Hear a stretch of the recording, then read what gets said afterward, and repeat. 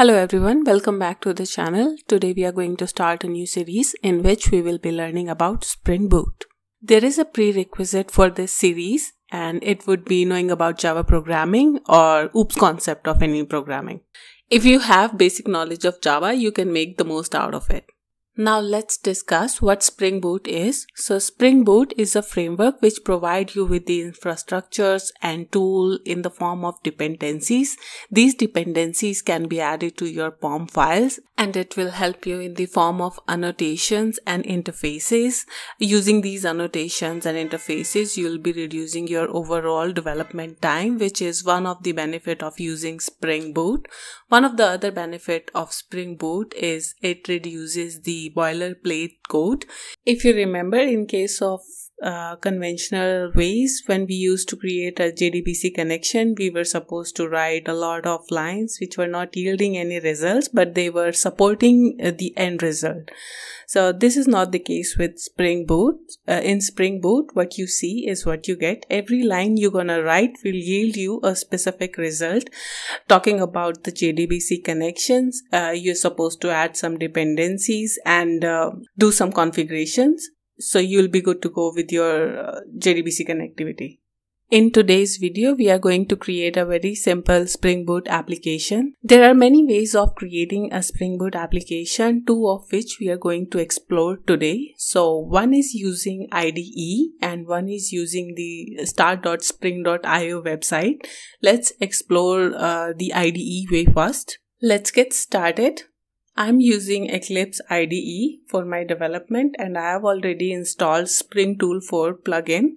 You can also install the plugin by going to Eclipse Marketplace and searching for the plugin. I am going to the install tab. Here you can see the plugin is already installed. There is one another tool named as a Spring Tool Suite which is really commendable for the developments. Without any further ado, let's create our first Spring Boot web application. Now I'm going to File menu, click on New. We're going to choose Spring Starter Project. If you see internally here also it is pointing to start.spring.io website and uh, rest of the things we're gonna keep them as default now we are supposed to add a web dependency as we already said that we are going to create a web application. So Spring Web is the dependency we are searching for here. Here you go. Add the dependency. Click next. Finish. So now you see our project is set up. Let's go and look at the class file. This is the auto generated class file also let's look at our pom file. So here you see spring boot starter web. This is the dependency we just added. And spring boot starter parents get added by default because we are creating a spring boot project. Coming back to the class file if you see at the rate spring boot uh, application this is the annotation which makes our class as a spring boot application. Now let's run the class run as Java application. So as I told earlier that we are creating a web application, but we didn't actually explicitly install any server. So that is where the magic happens. As soon as we add a web dependency, Spring Boot in itself adds an embedded Tomcat server where your application will be running. So our application is running successfully now and you see there is a Tomcat server. So this, this auto-generated piece of code is uh, fully functional by itself. We didn't add any extra lines of code and it is running fine. Now let's explore the another way of creating uh, a Spring Boot application which was using the website start.spring.io. here we are on the websites we are going to keep everything as a default and let's add the dependency as we did in the IDE Spring Web. Now we are going to click on generate. As soon as we click on generate it will be downloading a zip file to our local system.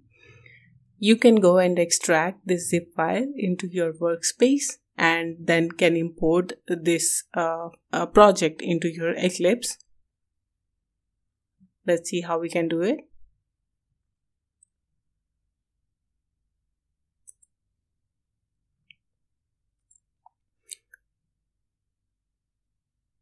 So now our project is copied. Let's go to IDE. Now we are going to import this uh, project. We're going to choose import existing Maven project. Browse to the location where you just extracted the project.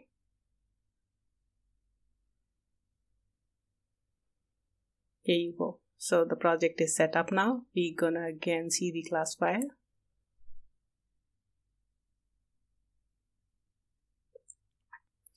So, same line of code. Just for our sake of understanding, we are going to add a sysout.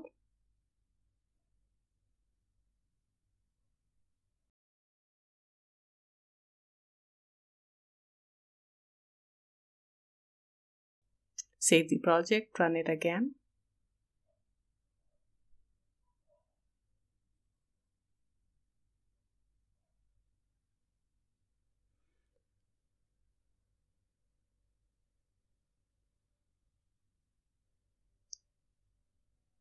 there you go. So the Tomcat has started and we are getting our print statement. This is it for today's session. Thank you for watching the video. Have a nice rest of the day.